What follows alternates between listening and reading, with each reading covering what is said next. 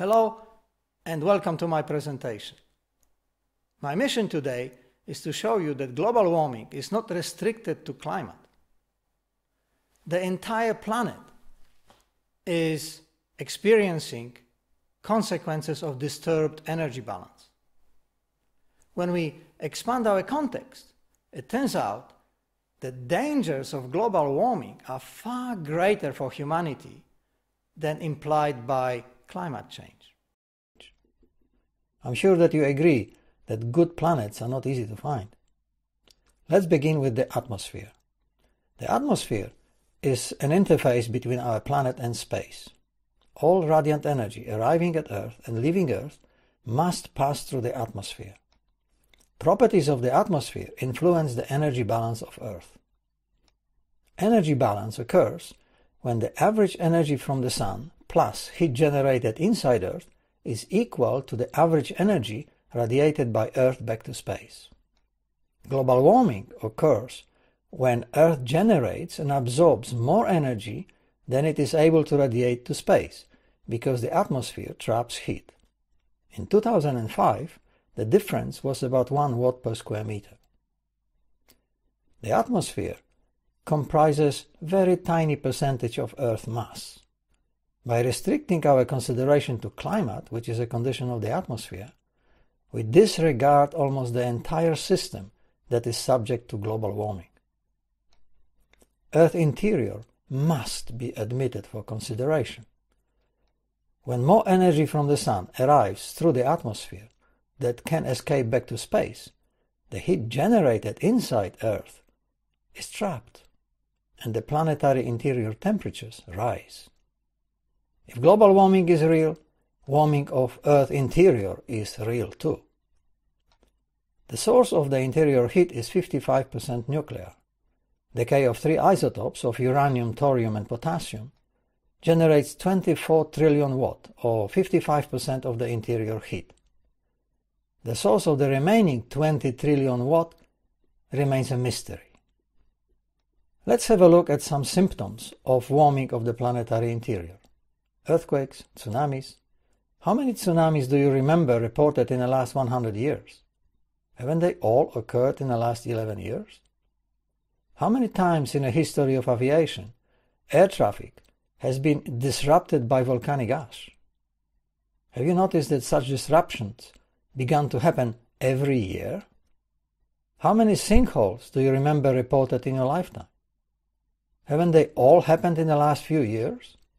Other symptoms include accelerated movement of tectonic plates and so-called slow earthquakes. Let's have a look at the 12 largest earthquakes in the last 50 years. Areas of circles that show earthquakes are proportional to earthquake energy. 11 out of 12 largest earthquakes occurred in the last 14 years.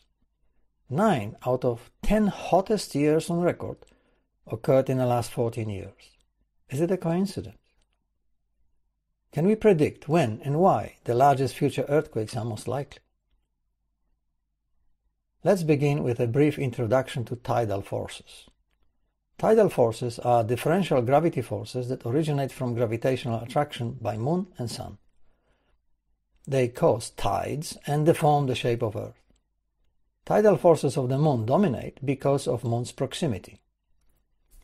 Maximum tidal forces and highest tides are associated with Moon's perigee, when Moon is closest to Earth, and a linear alignment of Moon, Earth, Sun, which happens during full moon and new moon.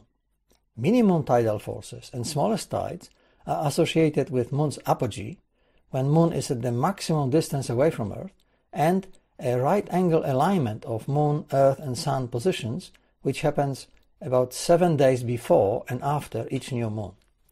In this configuration, the combined lunar and solar tidal forces reach minimum. It is reasonable to expect that triggering of large earthquakes should be associated with periods of maximum tidal forces and the corresponding maximum deformations of the crust. Let's have another look at the 12 largest earthquakes in the last 50 years. The graph shows the association of individual earthquakes with new moon, full moon, perigee and apogee. Bars on a graph show earthquake energy, and digits indicate the number of earthquakes. As we expected, the correlation between high tidal forces and large earthquakes seems quite good. 7 out of 12 earthquakes occurred during perigee, when Moon was closest to Earth. 11 out of 12 earthquakes were associated with either full moon or new moon.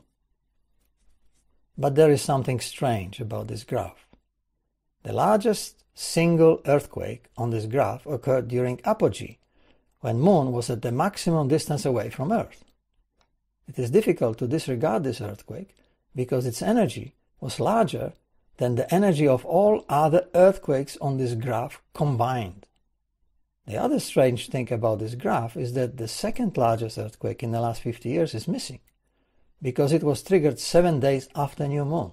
A closer inspection reveals that magnitude 9.1 earthquake was triggered during the longest possible apogee, when tidal forces caused by the moon were the smallest they can ever get. Magnitude 9.0 earthquake was triggered exactly seven days after new moon, when the combined lunar and solar tidal forces reached their minimum. So, the two largest earthquakes in the last 50 years an order of magnitude larger than other prominent earthquakes, were triggered when tidal forces were extremely small. How can the smallest tidal forces trigger the largest earthquake? Could there be a violent quake triggering mechanism inside Earth that we haven't yet admitted for consideration? Can some part of the planetary interior become unstable when tidal forces are too small? Does this instability depend on global warming? Let's have a look at the internal structure of Earth. This structure has been verified using seismic tomography, a technique that relies on observations of seismic waves that travel all the way across the interior. The crust is really thin in comparison to the size of Earth. Underneath the crust is a semi-solid, semi-liquid mantle, shown here in two orange layers. Deeper is a liquid part, shown here in yellow. The deepest section of Earth, shown by the brightest color, is a solid core. We know that the Earth's inner core is solid because it reflects seismic waves. Imagine hovering above the North Pole and looking down through Earth with a special vision. This is what you would see at equatorial plane. Earth spins. Solid core suspended in a liquid experiences buoyancy-gravity balance. Since buoyancy and gravity forces are both zero in the concentric position, the core equilibrium becomes eccentric. Tidal forces cause the core eccentricity to follow moon. Motion of the solid core in a viscous fluid dissipates energy, turning some of the kinetic energy of Earth rotation into heat. Tidal energy dissipation slows Earth's spin. A 20 trillion watt tidal brake causes each day to be longer than the previous day by about 0.35 microseconds and would take nearly 8,000 years to lengthen a day by one second. Eccentric movement of the core, driven by tidal forces, is responsible for Earth's magnetic field. Imagine hovering above the North Pole, but this time we keep rotating slowly in such a way that Moon is always directly behind us.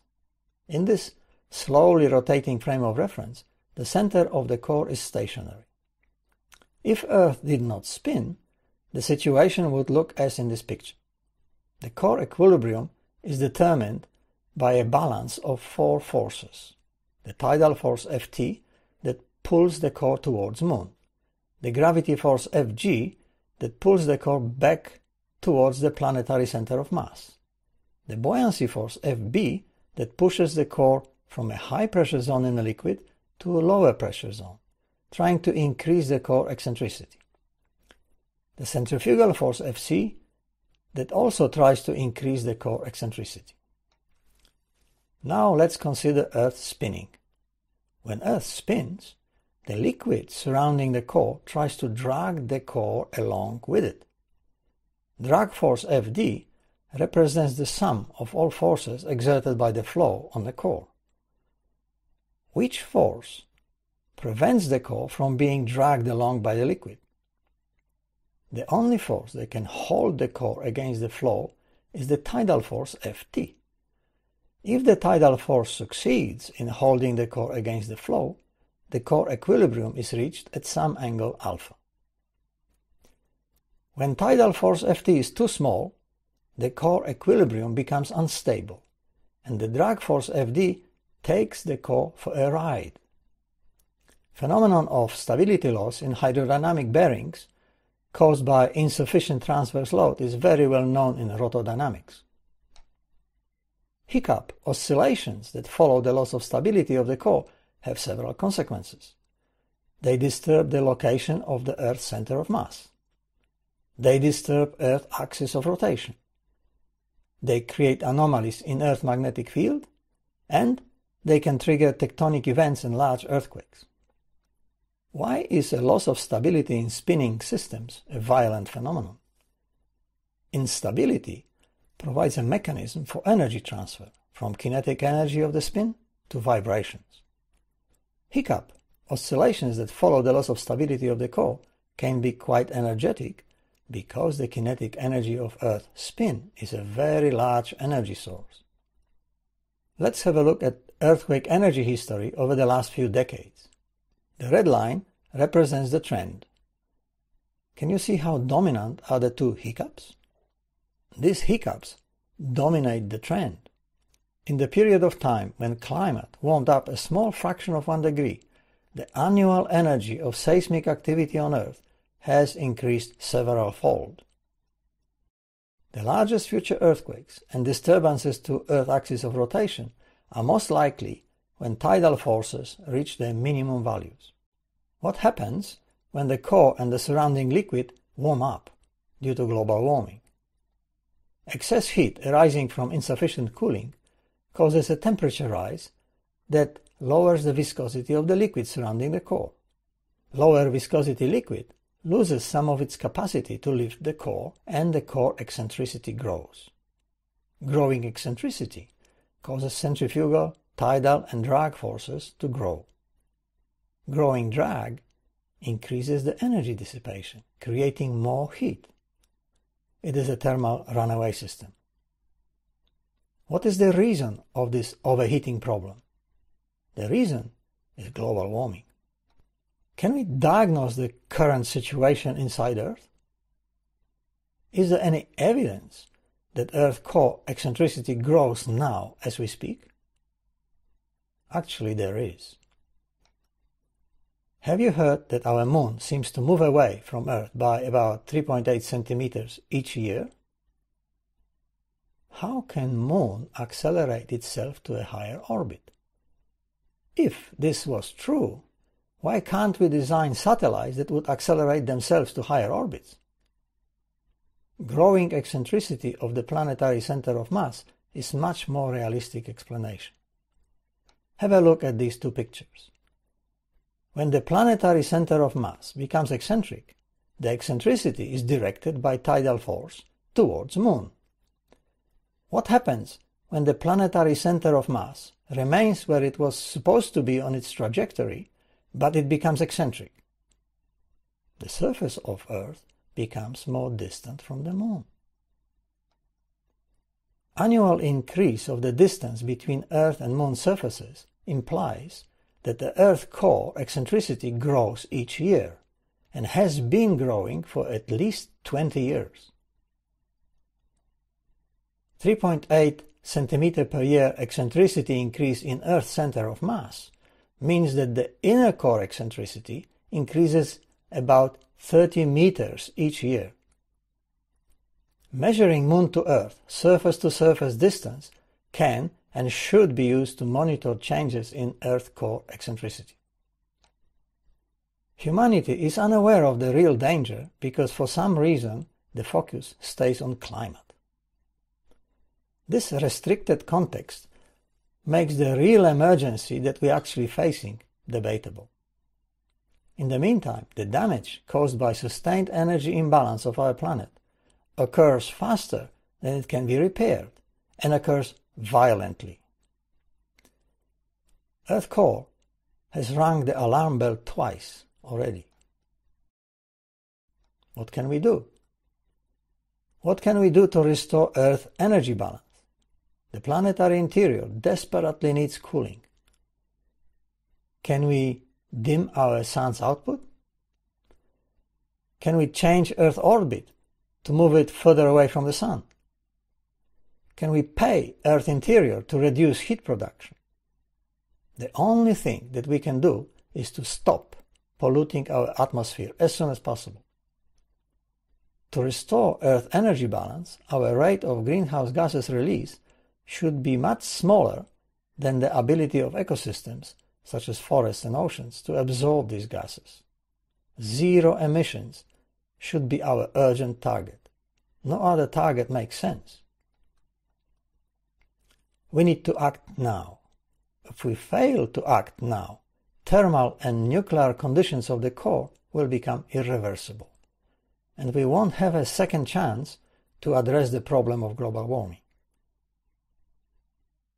Combined effect of many local individual efforts can be significant if there is enough of us. Our conscious commitment can make a huge difference to our future because we can influence other people, including our leaders. We need to think globally and act locally. Direction is to eliminate the use of fossil fuel energy. It belongs to 19th century museum. The second direction is protecting ecosystems from pollution and other disturbances.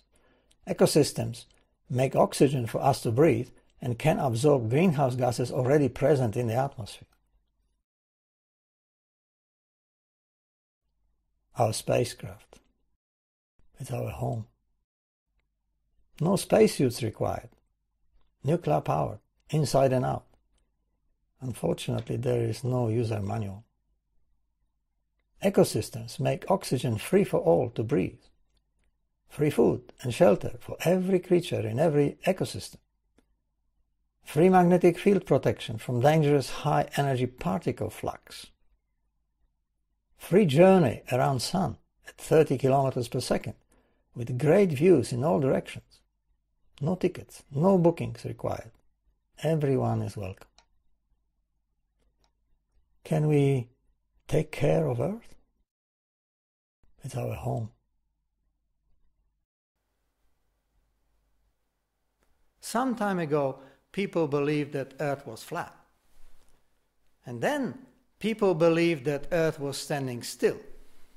And then people believed that the moon moves away from the Earth. Today, I'm telling you that the core of our planet moves inside the liquid planetary interior and that our future depends on parameters of this motion. Can we take care of Earth?